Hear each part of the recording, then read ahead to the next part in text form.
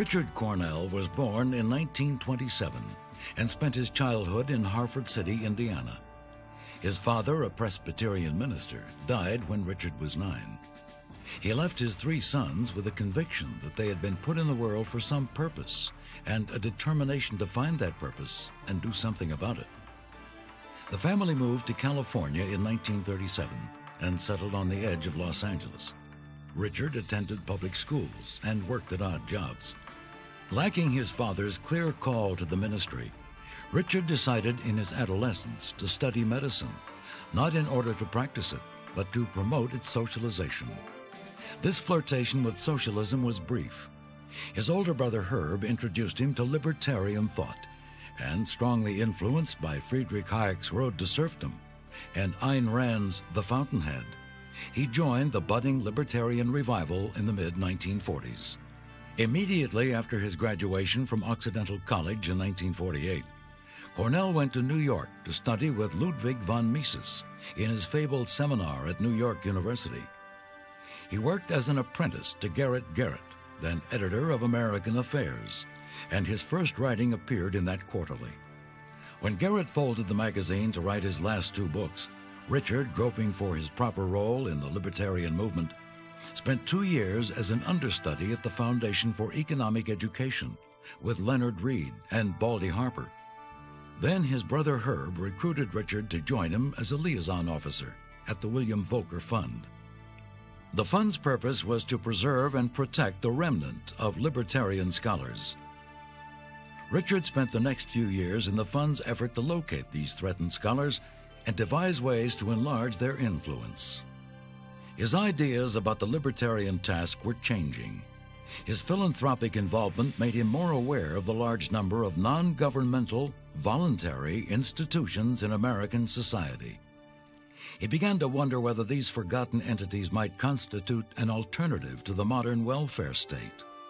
Cornuelle decided that libertarians were not involved in a debate, but in a practical competition for results he set out to demonstrate the forgotten capacities of what he called the independent sector, developing and promoting voluntary alternatives to address challenges such as the hardcore unemployed, the need for low cost housing, and the renewal of neglected neighborhoods.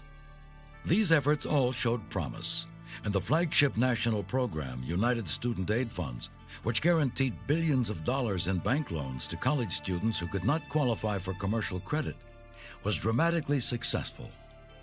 Richard wrote his first book, Reclaiming the American Dream, which described America's unparalleled machinery for voluntary social action in large, bold terms, not as a useful adjunct to government, but an essential alternative to it. Two years later, pollster George Gallup said the book had sparked the most dramatic shift in American thinking since the New Deal. Politicians of both parties embraced the independent sector, but as a neglected instrument of the state rather than an alternative to it. In 1975, Cornuelle published a much humbler, almost penitential book, Demanaging America, in which he explained the futility of efforts to reform society with the very methods that were constraining it, and described a new kind of society that was developing spontaneously outside the political process. Cornuelle believes that this spontaneous initiative is now gathering momentum, and a great emancipating social transformation is underway. And the present task is to understand and encourage it. Liberty Fund welcomes you to a conversation with Richard Cornuelle. You've been um, working in the world of philanthropy and libertarian thought for a long time. And we want to go back and see how some of your ideas develop, but I know you've got some current enthusiasms that are taking a lot of your time and attention. you know, Mark Twain once said that the only thing sadder than a young pessimist was an old optimist. But uh, in in uh, in my older years, I've become uh, less and less pessimistic and more and more optimistic, sort of reversing the, that that that uh, motto. Uh, I, I, I, really believe that there are unmistakable signs all over the place that the society that the society is trying to improve itself, is trying to to, to resolve some of the conflicts that troubled the 20th century in so many different ways. Uh, I, I, I, spent my life trying to be a, a, conscious reformer in various ways that we can talk about later. Uh, but what's encouraging about what's happening now is it seems the society is trying to reform itself, and that all those of us who uh, are, you know, sort of dedicated to the idea of a good, free society, uh, our, our, our, role has changed somewhat. We need to help people understand what it is they're doing, develop a rationale for this, this sort of spontaneous kind of change, and and you know supply a little body English and direction and a helping hand here and there. But uh, it's a it's an entirely it's becoming an entirely different world. I think. Give me some examples. Well, I think the moving force. I, have I've uh, I'm working on a on a book which will be kind of valedictory. I hope to finish it within the next year or so. I've been working on it for uh, all my life, I guess, in a way, and, and, and, very consciously for the last five or six years. But the working title I had on the book was um, borrowed from the Russian revolutionary Chernyshevsky, who called, called his, it was, curiously a novel, quite a bad novel, called What is to be Done, and the subtitle on some editions was Tales of New People. And I think the driving force behind the kind of uh, transformations that I feel so encouraged about is in the is in the character of the people that make up the society. Chernyshevsky, incidentally, was a, sort, sort of a you know quite a bad guy, and and uh, and uh, because the kind of new people he was talking about were not the sort of new people I'm talking about. But that's aside from the point. Uh, but I think that for that one of the things that's that's that's misshapen um, social life in the 20th century has been a very pessimistic attitude about the capacities of, of, of ordinary people that developed toward the end of the, of the, of the 19th century, understandably. We were the biggest, the most rapid industrialization in the history of the world took place in the United States in a period of about, from after the Civil War till about the turn of the century. I mean, it's astonishing growth.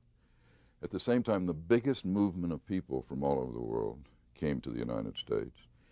Uh, not being able to speak the language, some of them full of sort of revolutionary ideas that troubled the, the, uh, the, the existing establishment, uh, and, a, and, a, and a society that seemed to be becoming uh, more complex and less comprehensible by the, by the day. So the intellectuals of the time developed a kind of consensus, which I believe guided public policy and private policy in many ways for, for the whole of the next century that was based on a pe pessimistic assumption about the capacity of ordinary people. They, they, they thought that they would be uh, unable to deal with these, that the new complexities would, be, would create problems that were unfamiliar to them and with which they would, could not and without, and, and maybe were unable, would always be unable to, to deal with. So that led to a, a kind of canon that said that in, in this newly complicated age, uh, a lot of social and economic activity was going to have to be regimented. Uh, and the canon included the idea of monopoly, uh, concentration of authority, and, and perhaps most important, the intervention of a layer of professionals between ordinary people and their work or in, in the important decisions about their lives, where there's the, the choice of the uh, uh, schools for their children, provision for their health, provision of retirement, all sorts of things. People were thought unable to that, and, that, and those responsibilities were gradually transferred to a, a body of career professionals uh, which grew up and flourished in the 20th century. In so many ways, it seems like the late 19th century America was a great triumph of individual liberty and creativity, um, personal initiative, and yet, as you're saying, all these reformers began to think everything was out of control and chaotic. Where did they get these ideas, and where were, where do they go with them? The the most interesting thing is, and I think there's a kind of, uh, I think there's a wide acceptance of this idea that the model for social, this, the kind of social uh, uh, uh organization that was appropriate to this unexpected new complexity was the, was the corporation. Corporation was developing rapidly. Uh, it's, it's the, it was very clear, as you say, that the, this new economy was vastly more productive. I mean, you, you know, you could see wages double in a single generation or something like that, whereas for centuries they'd be lucky if they increased at all. Uh, and but the corp the corporation seemed to be the responsible agency, uh, and they attributed I, what I think, in retrospect, was a mistaken importance to the way the corporation's interior was organized. And the, the monopolist thought, the, the, the, the, corporate head thought that monopoly was a good idea if he could achieve it, uh, that, that uh, if you were going to control a complicated corporation, uh, the authority had to be, inf all information and authority had to be concentrated at the top. And they were the first to believe that these uh, uh, people that you know came uh, off farms, you know, after, after, out of a strictly pre-modern agricultural background, we're going to be working in factories. They'd have to be very carefully supervised. So the idea of a, of a, of a layer of professional supervision, you know, between the, the, the, management and the worker was, was, was part of the corporation. At that time, this explosion of productivity was attributed to that method of organization rather than, and I mean, I think it really should be attributed to, to, the fact that the firms were allowed to operate in free markets. In other words, the free, the, the external affairs of the firm were, were guided by the free market, uh, a, a, method uh, that invites change, assimilates change very rapidly. The interior of the corporation was, was organized on an entirely opposite principle. And it was that principle that was used as the model for all sorts of organizations inside and outside of government, a, a, a tendency that prevailed through think, by thinking people all through the 20th century that the way to get things done was to uh, monopoly, hierarchy, and professionalization. Doesn't World War I then sort of show how it could work at, at a great national crisis? Exactly. The, um, the, the, the writer who I found most illuminating on, the, on this whole business was Robert Nisbet. And, and Nisbet points out that the great application of this idea, the great national application of this idea, was in, war, in, the, in, in, the, in, in, in uh, the management of World War I.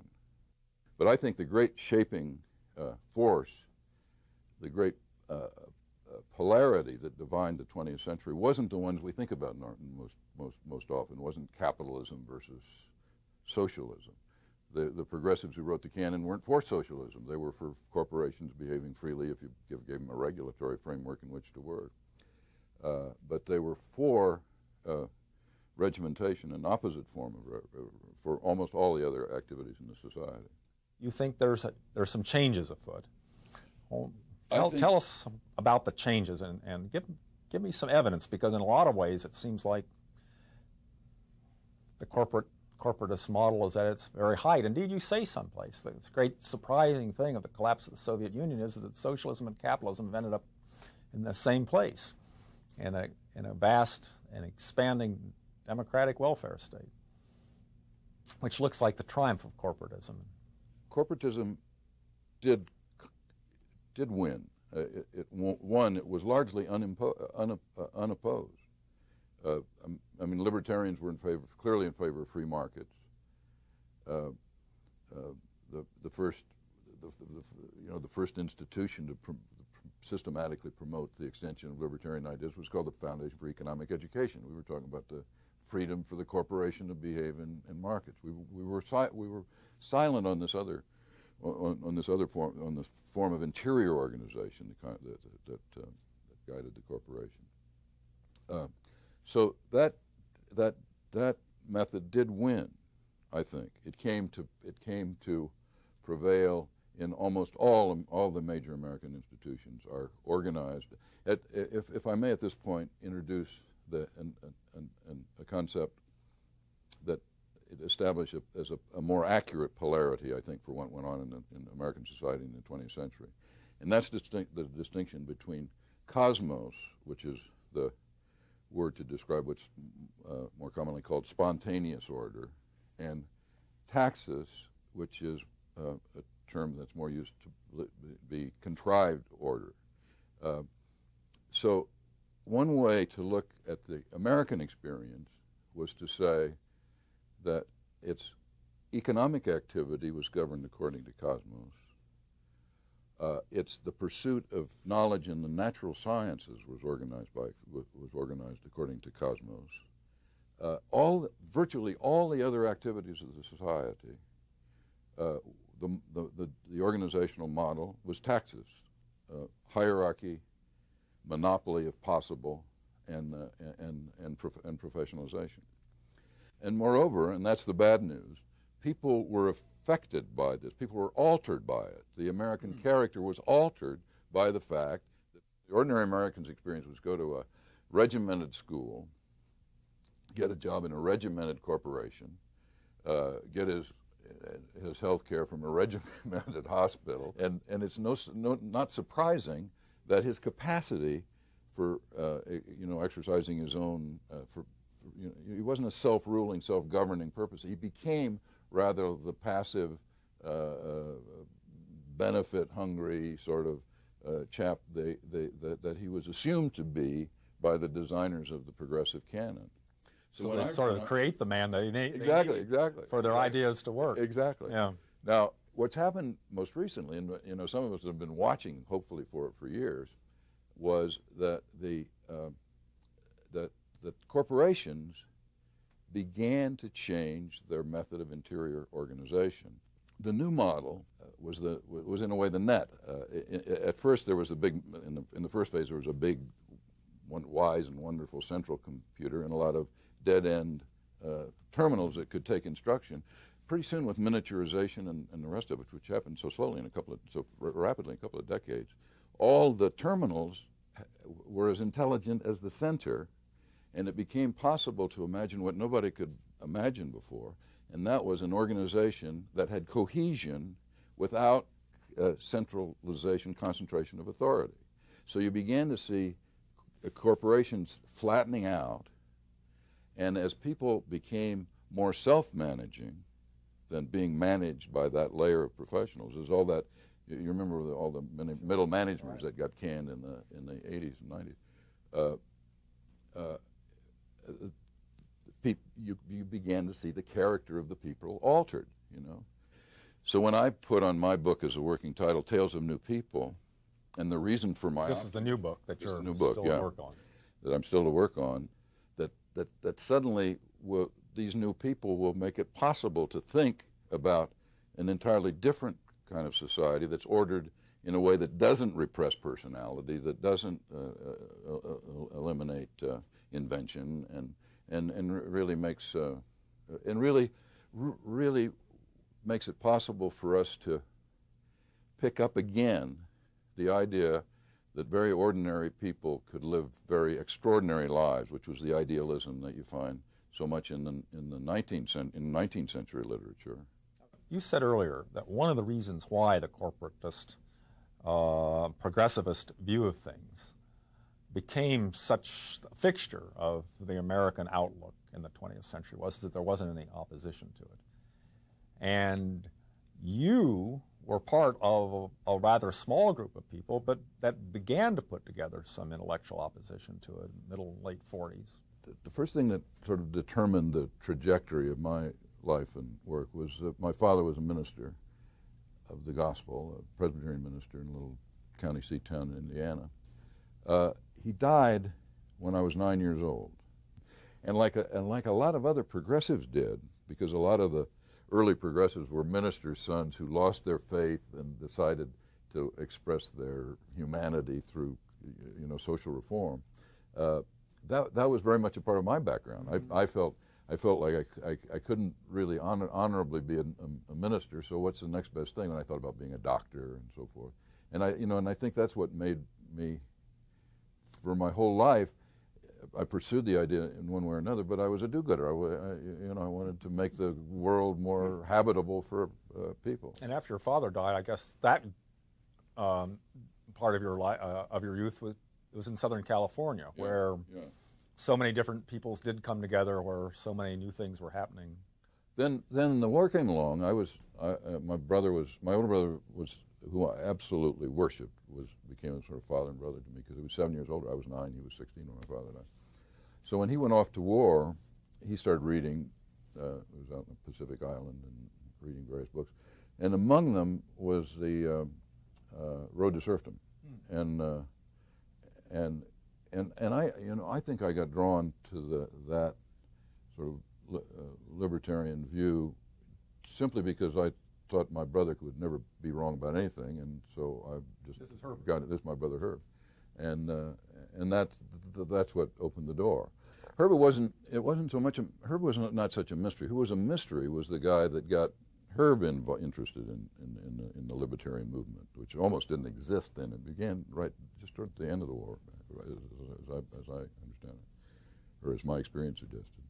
Uh, Herb was Herb had worked uh, before he went into the Navy uh, for a guy named uh, Loren B. We all called him Red Miller, uh, who worked for a, a, a uh, in those days, I, I, think they're not as active as they once were, but most cities had a privately financed kind of watchdog agency that would keep track of municipal performance. And Miller ran that organization, and uh, and Herb, Herb, when he got out of college, got a scholarship to a, a course in public administration at the University of Denver and, his, and was assigned to Kansas City to uh, do a study of the uh, uh, Cookingham City Manager's Office that had succeeded the horrible Pendergast machine, which Miller had, uh, been one, one, one, very important in running it out of town.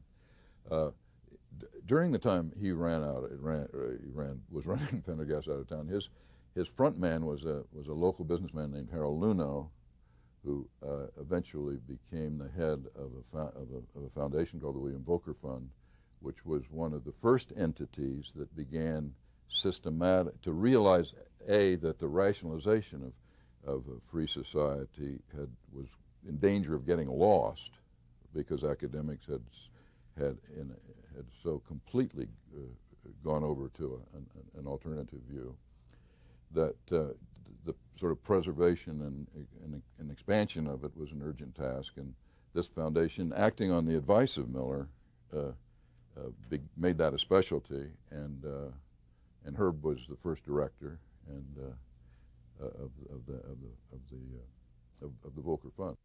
So you went to work for Volker also? Yeah, after after a while, I did various other things. I, I went to I went to um, and, and, then the great uh, the great Gray Eminence uh, of uh, libertarianism was uh, Ludwig Mises. He was teaching in a seminar in New York City, and when I got, got out of college, I went to study with him for a couple of years. I worked on a on a on a periodical that was more uh, conservative, perhaps, than libertarian in those days, called American Affairs, which was published by a wonderful old uh, um, uh, writer and editorialist named Garrett Garrett, who was a very important so you worked for Garrett Garrett for a while and, and attended the Mises seminar. Yeah. And Mises himself, I guess, had been supported by the Volker people by at that point. Who were some of the other people in New York in those days, and what what was going on? What looking well, back on it, do you find exciting? Well, it, was, it was a very exciting time. We were uh, uh, uh, we were there were very few. There were very few people. I say that we would have fit in a phone booth, and that, that was not so far. It was not much of an exaggeration. But the, but the people there were all wonderfully kind of eccentric and outspoken and, uh, and uh, different. And we had a great sense of uh, camaraderie because we were all fighting this enormous losing battle, and, but in, enjoying the doing of it. Mark Murray Rothbard was a, was a part of that group. And, uh, and, and Rose Lane was somebody I visited in Connecticut often. And Henry Hazlitt, who was a Newsweek columnist who wrote a best seller called uh, Economics in One Lesson. Frank Meyer was he Frank involved there? Yeah, Frank. Uh, parallel to the the uh, at that time, uh, there was was almost from the beginning a, uh, a, a clear division between conservatives and, liber and, and libertarians. Some some of the younger libertarians thought were sort of anti-conservative, uh, and because we were we were much, we were much, we were thinking in much more revolutionary terms, not in a violent sense, but in the in the sense that we wanted to we wanted to really change the society. We were, we had a, we had a, we had a much clearer vision of hell than we did of heaven. I mean, we knew what was bad about uh, a centralized society. We weren't nearly as uh, articulate about what a good society would be like. But I think the unease I felt was one of the things that kept me looking for uh, other dimensions that weren't being covered. Although at the time I was an absolutely loyal, card-carrying, uh, unreconstructed libertarian. Where do these other chances develop? Where, because they did. You, you moved away from just being a part of that narrow libertarian movement in Manhattan. What, what happened was that we, we had decided Hayek had written Hayek had written an essay called "The Intellectuals and Socialism," which was a sort of a book on strategy. You know, how do how do how, how do we how, how do we uh, what's the real way to extend this movement?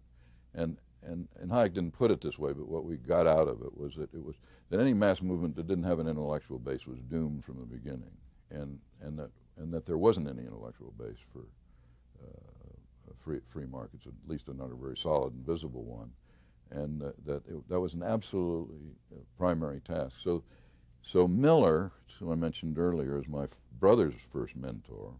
Although nobody knows where Miller came from, he just hmm. he came out of the blue somewhere. There are lots of people out in the Middle West like that in those days. Right. Shouldn't have been a surprise. And, uh, he persuaded uh, the, the guy who ran the Volker Fund, Harold Luhnow, to uh, who had been his partner in the Pendergast out ouster to, to specialize in, in identifying and helping libertarian scholars.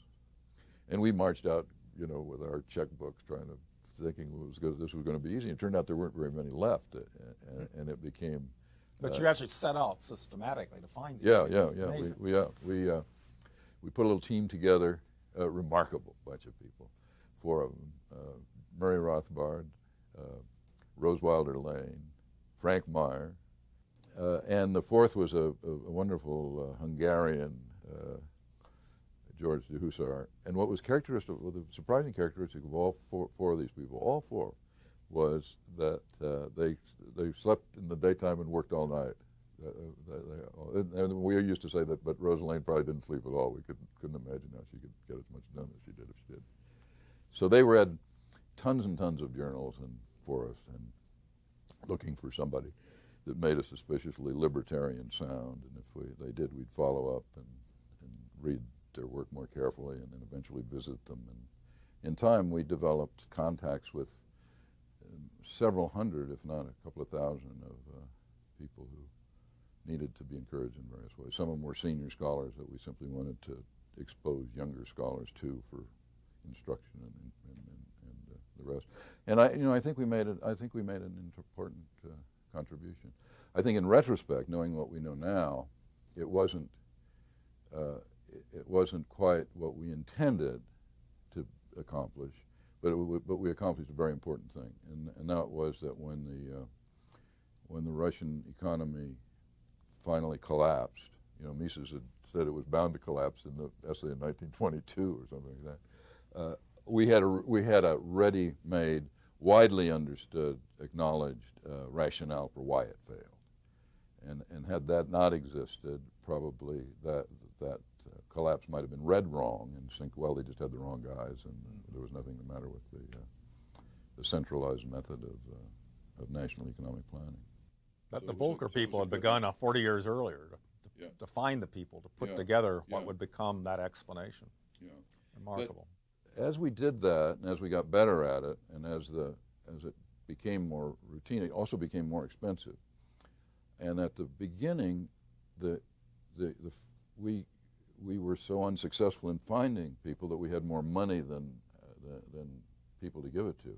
But as the, as our as our under you know as our, our knowledge of this population grew and grew, we got uh, we needed more and more money, and so we began to look jealously at the part of the foundation's money that had traditionally been spent for uh, welfare, you know, conventional mm-hmm. welfare mm-hmm. activities. So we, we uh, began to uh, figure out ways to get that money into our, side of the office instead of the other side. And, but instead, it caused me to realize an embarrassing admission at this stage uh, of the game, but I, we began to realize that there was out there uh, an alternative to, to government action on on social problems, which we had never, uh, uh, oddly enough, had never really. It wasn't in our consciousness. They, were Already there, I mean, at we'd work. All, we'd all driven by by hospitals and right. private colleges and private agencies and gave to the United Fund. Way, but we didn't. We just thought that was part of the furniture or something. I, you know, it wasn't thought to have any. There was no. There was nothing in the sociological literature about it to speak of. It was just there, and and, and it become so much a part of American life it was invisible. So that caused me to to think, and then so, suddenly it satisfied my not only my sort of libertarian, you know, freedom for everybody uh, impulses, but my do-good impulses, because it looked like there was a there was at least a vestige of an of an alternative to the state in in, in solving the problems of uh, uh, uh of people that were in, in, real distress of some sort or other. So I got I got very excited about this uh, this phenomenon as I saw it. Began to try to educate myself about its scope and possibilities and the rest of it, and a kind of theory about how we both and and that that uh, that led me to what led eventually to the publication of my first book and the most popular book I ever wrote, which was Reclaiming the American Dream. 1965. 65, yeah. Right. So you've been thinking about it this issue for some time before you actually yeah, wrote I, down the book. I thought about it. I, I kept thinking about it, and and then, and I and I and I, I decided it was a hell of a good idea. Uh, but I decided that it would it wouldn't communicate if it were just if it were just an abstraction. If I just went around and told it, well, there's an alternative here, and why don't you get busy and do something? I, I thought it would only have bite if we could point to an example. If we had if we had said we're going to put the eight ball in the side pocket and did. You know, we decided an example of, of we decided to mount an, uh, uh, some demonstrations of the neglected power of a of a force in American life that was underutilized. And Which you good. called then the independent sector. Yeah, I, I was Frank Meyer was there there when I did. I, I, I wanted I knew, knew it had to be. The, uh, Tocqueville had written about it. Tocqueville had written about it in the, in the uh, 1830s about uh, the thing that he thought was most remarkable about Americans was when something went wrong, they didn't call on a man of rank or the police or something. They uh, formed their own group and did something to it. He, he, he, called it, he seemed to call it a kind of uh, propensity for organization or something, but he didn't really give it a name. So I thought this kind of activity needed a name. And Galbraith had just published a, a very widely uh, uh read book, or at least read uh, by uh, Galbraith called uh, The Affluent Society. And, and he suggested we look at the world with a, as being composed of two forces. One, the public sector, by which he meant all governmental agencies, and the private sector, by which he meant commerce. Mm-hmm. And, and this meant that this whole you, know, middle kind of, of activity that was neither governmental nor commercial, had no identity, no name. Galbraith hadn't noticed it either. And Galbraith hadn't noticed it either. And nobody else had noticed it. So you go, go off to, to set up a demonstration project. Yeah, we, well, we set up several. And, and who yeah. is we? Is this still the Well, this was a or? ridiculous little band of, of uh, quixotic idealists who, uh, there's a guy named Bill Johnson who worked with my associate, and uh, then I had some very important volunteer help from from businessmen, particularly in, in, in Indianapolis, and uh, then uh, four or five other people. And we started, uh, we started several projects. We started one uh, that, uh, I think, I think it was in Knoxville, uh, that had a private alternative to urban redevelopment. It was a. scheme that where you know, uh, decay seemed to be contagious. One building would go down and the other one. But, but it wasn't so hard to reverse it. It was hard to build, to restore one building when all the rest of the buildings. So this, somebody, some wonderful social inventor had, had, had figured out a way that you, you would trade your deed to a, a building within this area that they were trying to redevelop for stock in the corporation. So you had a stake in the whole thing rather than just the one thing. Oh, and you know, we, yeah. we bankrolled yeah. that and reported on its success. It was a bit, it was, it was very successful. This is entirely non-government. It wasn't based on eminent domain or anything of the sort. Just voluntary.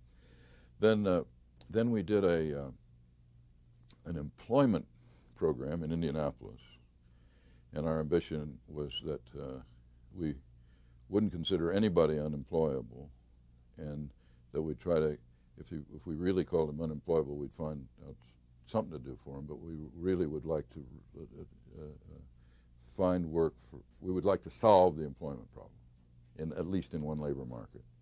But, but the big one was um, our big demonstration was uh, was came to be called United Student Aid Funds, and it's uh, because we, we perceived that well, loan student loans to pay for your ed education was much very much in disrepute, and, uh, they weren't widely utilized. But our study showed that they could be useful, uh, and that they hadn't been used often because they had too sort of the restrictions on them were kind of silly, and because the colleges had a bad reputation for paying them back and so forth. So we copied a formula that was pioneered in Massachusetts, where you, buy, you put a fractional reserve in the bank that gave value to your co-endorsement of a, of a loan to a student, which would kind of ensure the bank that it was going to be repaid. And uh, then we uh, um, enlisted a lot of banks, uh, all in all, all, all, most of the states, was, wasn't it? it? It was never entirely national because there were other organization that stopped, changed, called it called it United Student Aid Funds, and raised a lot of reserve money and made uh, and guaranteed you know billions of dollars mm. worth of uh, worth of loans. You talk about United Student Aid Funds in your first book, Reclaiming the American Dream, but you talk about a lot of other things too, and really it's a great vision about about what the American dream has been and might be again. How did you come to write that book? I thought in my naivete that it was um, that I was going to start a revolution. That um, I, I, said in the chapter, if there's one man like the guy who helped me do this, put this thing together, uh, there are probably a thousand more, and they could change the whole uh, face of the the nation. And and I really I, I believe that. I mean I the, the logic of what we did was that here's a, here's a rationale, that, that there, here, here's a big neglected asset. Uh, uh, people that are not only uh, uh, able to help, but are willing to help, anxious to help almost. It's the kind of thing we saw the, the other day. I, I you know, I, I, think I said in that book for the first time, in, in, in any kind of situation where some identifiable individual is in trouble, and the way to be helpful to that person is obvious. There's no arguing about it. You don't have to go to social work, get a degree or anything. You just go do it. When there's a situation like that, Americans' response, his response is always enormous. I mean, gigantic, excessive even, you know. So I was saying, look, if we, we've proved in United Student Aid Funds that a, few, a handful of eccentric guys can put it together an organization that meets the whole, the whole reasonable need for student loans, you know, acting the way we did. Uh, think of what we could do altogether if every, you know, if, there, if that if that got popular. You know, we proved it can do it, and I thought there'd be a lot of imitation. I, I, I really did think, because I got a lot of mail, I got a, a, a, a lot of uh, lecture invitations. I was running around all over the place making speeches and so forth. And I, I really thought I'd, I had started a movement. The reality was that I don't, I, I, to this day, I don't know of a single uh, entity that was inspired by that point of view or that uh, challenge uh, uh, at all.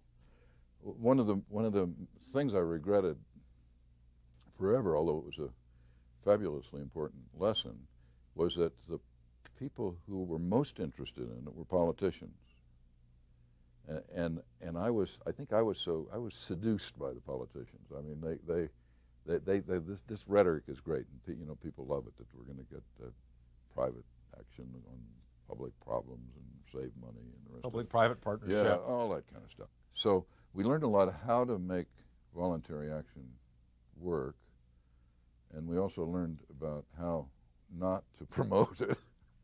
Uh, uh, its extension, I think but I was still puzzled about what the right way to to uh, to, to uh, uh, extend it was, and an enormously illuminating flop.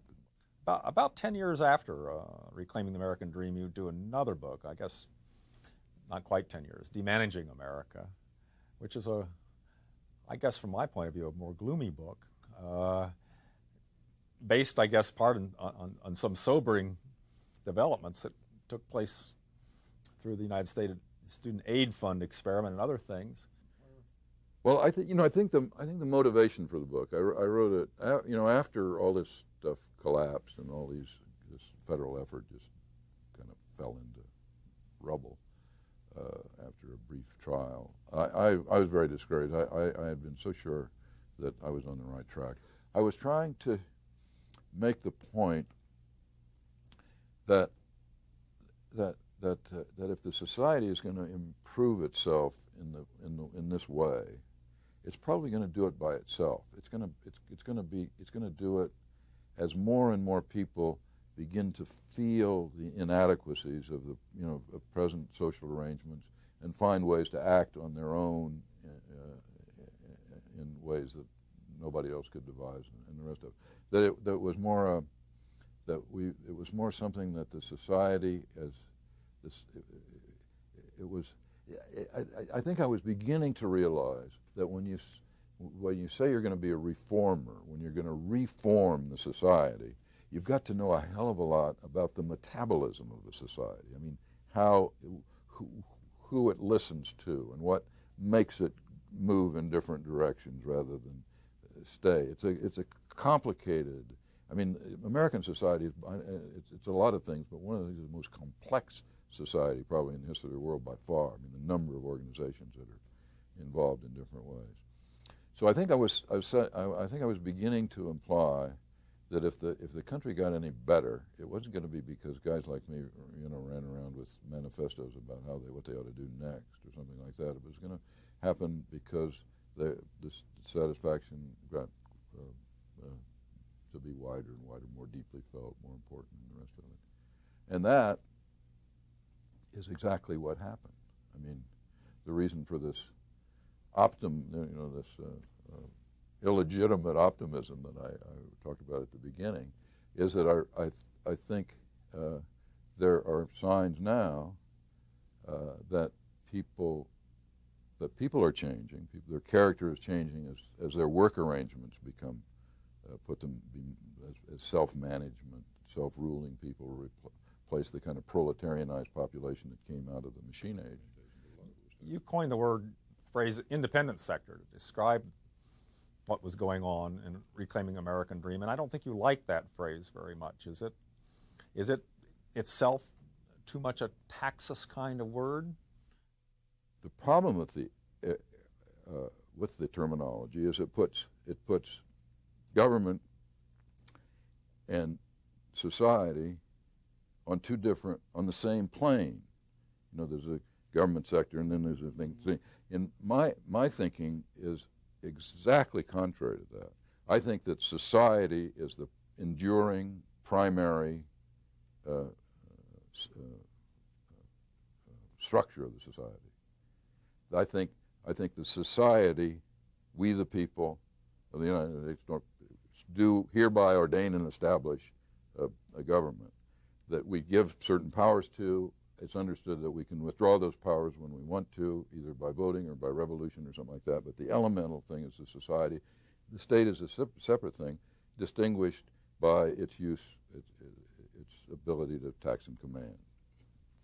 So I don't want to talk about the independent sector anymore. I want to talk about the, you know, I want to talk about uh, state institutions, and I want to talk about uh, voluntary institutions some of the voluntary institutions are profit seeking. Some of them are half and half. Uh, some of them are co-ops. Some of them are, are mutual aid organizations that don't have no eleemosynary uh, uh, ambition. They just want to help each other. Uh, a, a, rich array of these things. I think it's desperately important that these that there more social self-consciousness develop, that people more are more realize what the nature nature of the society is. Well, let me ask you another question. It's a, yeah. it's a bit complicated, and, That's and right. it's just something that's troubling me back with reclaiming the American dream. Uh, you, you, said later, later on, a little article you wrote in 90, 1991. Thanks in large part to libertarian scholarship, there is a well understood alternative to the strictly economic half of the traditional socialist program, state operation of the nation's economic institutions, and so forth. And there is a well traveled pathway to change. Then you go on to say, but privatizing the other half of the socialist program, the social services, the democratic welfare state that you say has become the com common institution of the Western world. When the last state enterprise has gone private, the part that is practically indistinguishable from the West's social service states is another task, is a task of another order altogether. If there are alternatives to the state's failing efforts to get rid of Skid Row, eliminate involuntary unemployment, eradicate illiteracy, provide reasonable pensions, treat the indigent sick, detoxify the environment, and you go on with quite a list here. And you have a list in Reclaiming American Dream of all these things, too. Now, I think the conservative with the small, small c might say this is a bit utopian. These aren't problems to be solved and conditions to be eliminated. These are the nature of humanity. That that you're, you're trying to bite off too much, that a lot of these things can't be ended, can't be dealt with. They're intractable parts of the human endeavor. And all they can be is ameliorated. And the promise too great a change is going to fall into the progressive trap itself. Does any of that ring a bell? Well, it rings a, it, rings it rings a bell because it was an issue that I hadn't really thought through till recently. Um, see, I, I've, I've al almost from the beginning, I was, I, I, I was, I was a, what, what, I'd call maybe a philosophical uh, libertarian at the beginning, just believing that was a, you know, being free and man's power over man ought to be li strictly limited. Right. And, um, and that was a, it's a good more, place to start. It was, a, it was, not a bad place to start. It's a bad place to finish, but it's not a bad place to start. Then, uh, uh, uh then I and I, I, was perfectly comfortable with this idea and, and grateful for it because whereas on Tuesday I didn't have an exam, any answer for anything, I had, Wednesday I had an answer for just about everything, you know, and that, which is a great comfort to a kid who just came out of college with a paper that says he knows something. You know. As I read more, uh, I began to develop what was a kind of consequentialist view of libertarianism. And the night, and the, and the night I described, I, I realized this, this magical circumstances that the morally correct way to organize a society or let a society organize itself was the, was the one that worked better. You know, I've been somewhat confused by, by Hayek, who talked about the road to serfdom, and he says the problem is that if you, uh, and I wrote him a letter about this, problem with giving too much money to, to much of the responsibility of the state is it'll be turned back on you one day, and you'll be in, you know, in, into the look, inside looking out. And I said, but that, you know, that assumes that it works, you know. Mm-hmm. Uh, and I said, but if it doesn't, if, if, if it doesn't work, why don't you say first that it doesn't work, and then say if, you know, if anybody doesn't understand that it doesn't work, but you know, there's a there's a validity about the, but but the but isn't our isn't our first case to, to make that, the, that free societies work better than, uh, than controlled societies. And, and, that, and that became my, you know, my, my, my starting point on this. Well, what will be the role of the philanthropic institutions in this process? And you, you, you clearly, in Reclaiming the American Dream, see many hopeful signs there. But the world of philanthropy, too, has become more bureaucratic, more run by professional managers who've had courses in non-profit management, uh, less tied to people who've actually made money themselves that they want to devote to philanthropic endeavor, uh, organized in councils and national meetings, and, uh, and, and increasing the leaders articulate a position that sees much of the philanthropic world as the kind of training grounds upon which new government programs will be based. Um, is there a counter movement in philanthropy that's going along with the counter movement in education that's going to help produce some of these changes? Uh, as, as I see it, the uh, social institutions, in order to be brought up to, uh, to, to their, brought to their proper fulfillment, are going to have to displace the existing social institutions, these taxis-based organizations, which incidentally were usually financed by philanthropic money. Uh, that was money that was earned by machine, uh, at the beginning was owned by machine age pioneer capitalists, uh, spent on foundations which thought that it should contribute to, to organizations that, that imitated the corporate, the, the corporate form. And it was natural for, for, for businessmen who thought their prosperity was based on their method of organization that they should be, enthusiastic about that. Now the opposite is, is com coming to pass. They, we're, we're, the, the challenge now is to reverse the thrust of, of, of, of enterprisers and, and, uh, and philanthropists to, to see what they can do to encourage uh, the formation of, in, of, of, institutions of an altogether different sort and to move responsibility in the opposite direction. And I gather that's one of the projects that you yourself and your own uh, own found, the foundation you're associated with is beginning to work on and think about ways to encourage that kind of. Yeah, we've got a we've got a little foundation. Um, the first thing the first thing you have to do with an enterprise like that is to remind yourself that uh, the beginning of every uh, large enterprise, the first step is always pathetic in in terms of the size of the ambition. We often think about the guy that that started building one day, started building the Golden Gate Bridge across San Francisco and with a shovel. they said, "What are you doing? We're building a bridge across, across the bay." It seemed like kind of ridiculous. So, uh, but but in a in a in a comparatively small way, we're trying to do three different things in this philanthropic effort that are consistent with this point of view that you and I have been talking about. One, where we don't try to direct or contrive any kind of social change. We really try, in, try to improve the atmosphere in which, uh, which enables the society to heal itself and, and, and grow new institutions and so forth. We've, we've, we've, we think of that as having three dimensions. Just as the institutions of the commercial sector were built by enterprisers and uh, who, who was financed by investors, uh, we think these new things to be built by social uh, enterprises, social entrepreneurs, mm. and to some degree financed by uh, philanthropic foundations.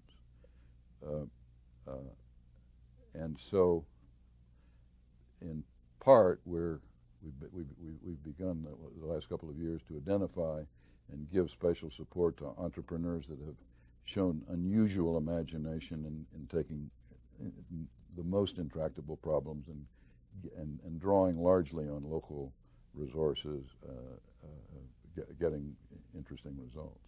And we continue with that. That's the beginning of what we hope will be a long, a larger program of, of, of, becoming a source of money and encouragement from, for, for social entrepreneurs who want to move society in that direction.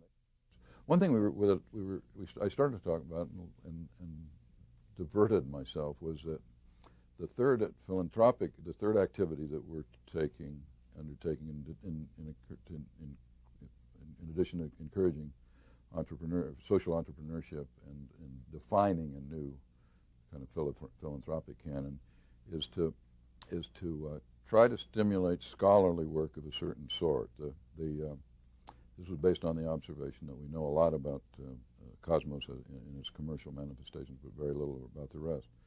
So uh, we, we've, we've, we've, we've found in, in, in looking at, uh, at this wonderfully interesting period, the late, in the late 19th century, that uh, toward the end of the century, uh, two things happened. One was that um, uh, serious social thought retreated from the marketplace into the academy and became so scholarship was almost exclusively the responsibility of, the, of, of, of academics. And at, the, at about the same time, uh, social thought began to compartmentalize itself, to divide itself. This is a part of that same kind of scientific mentality that was so much in the air at that time. Uh, and and, uh, and I think now it's become more and more clear that two or three things should happen. One, we should try to break the, the economy, the, the, the, academy of, the, of, the, of, its monopoly and encourage uh, people outside the academy to do serious work and thought. There are a lot of good examples. Some some of the best work in the 20th century 20, 20th century is done by people outside the academy, like Jane Jacobs and well Lippmann to some degree. I mean, uh, there there are many many many many examples. Uh, that that tradition ought to be restored, and I think that the, the, means to restore it are getting are more and more possible. I mean, work will become less demanding in the sense that it, to take six months off and and, and study or, or, or, work or educate yourself is, uh, is, is more and more possible. The other thing is we, we think that that be, that scholars need to begin to study systematically the metabolism of social processes besides uh, commercial exchange. Uh, you know, what are the what, what are the, what's the metabolism of, of mutual societies? How do they go? What's the rationale? What are their we don't we don't know all that. We know we have we make we know that the language is a product of cosmos. It's it's a it's a phenomenon. It's essential, absolutely essential. Anybody can can participate in it. Uh, it. It's it's not managed. It would be it would be terrible if it were managed. The contrived language wouldn't be very communicative. Communicative, and we and and there are other examples, but there are many. One of the things I learned in Mises seminar was that there are many many uh, other invisible hands at work in society besides the one that directs the capitalist to the right investments and so forth. Cosmos is such an exciting idea. It does seem like a thought that could be articulated in a public way by some nationally known figure, perhaps a political figure, in ways that would excite uh, a wide body of the American people. And, and maybe they would even realize it's quite a bit what describes what they do in their daily lives, anyhow. Well, what they've been doing in their daily lives for generations is taxis. I mean, uh, and uh, uh, and I, but I think the newer generation of people well, are working in more organized, yeah, well, in, in their school life, really. and school, and in, absolutely, in the institutions where they go when they get sick, and the institutions that they, you know, for almost, uh, they're still, then that, and they've been conditioned by that, and uh, but I think there's a yearning for, I think there's a terrific yearning for uh, more involvement. The, the, the, the definition of a citizen in the, in, in, in the 20th century that his job was to vote and pay his taxes, and he had very little responsibility beyond that, is a terribly constraining uh, uh, role for a concerned person to, to, to, uh, to fulfill. This, you know, the, uh, the Cosmos Society did, just looks for ways to put uh, his, uh, his or her willing energies to work in some constructive way. That's its appeal, I think.